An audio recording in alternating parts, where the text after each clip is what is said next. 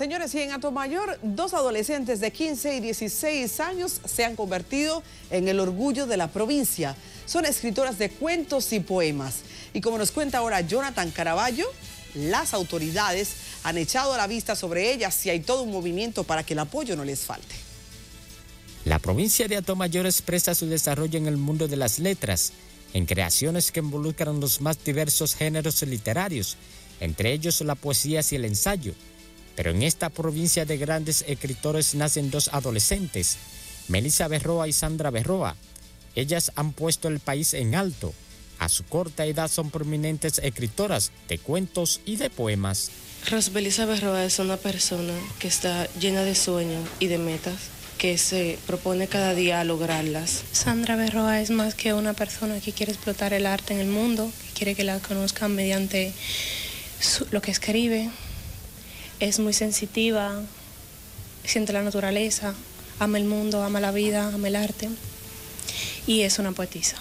Tengo un libro que se titula Viento enfermizo ya.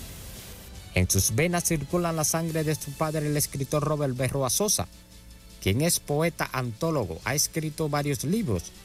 Berroa destacó las cualidades de Melissa y de Sandra y la definió como ejemplo en la sociedad. La pequeña un día me sorprendió cuando tenía siete meses, de siete años.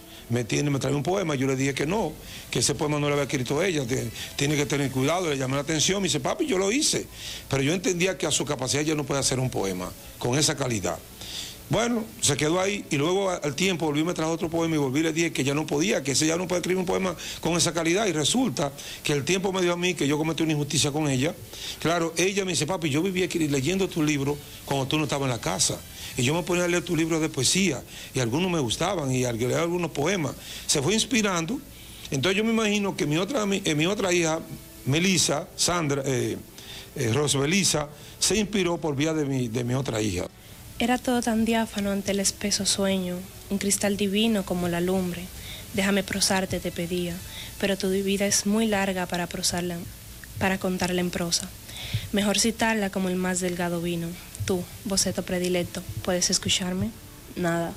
Volverás, escucho los ecos musitarte. Andaré sobre los puentes y la sombra, solo los dioses conocen de mi tinta en tu papel, de mis lunares a cántaros y tu sílaba sin estrella en la provincia de Atomayor, Jonathan Caraballo, NCDN.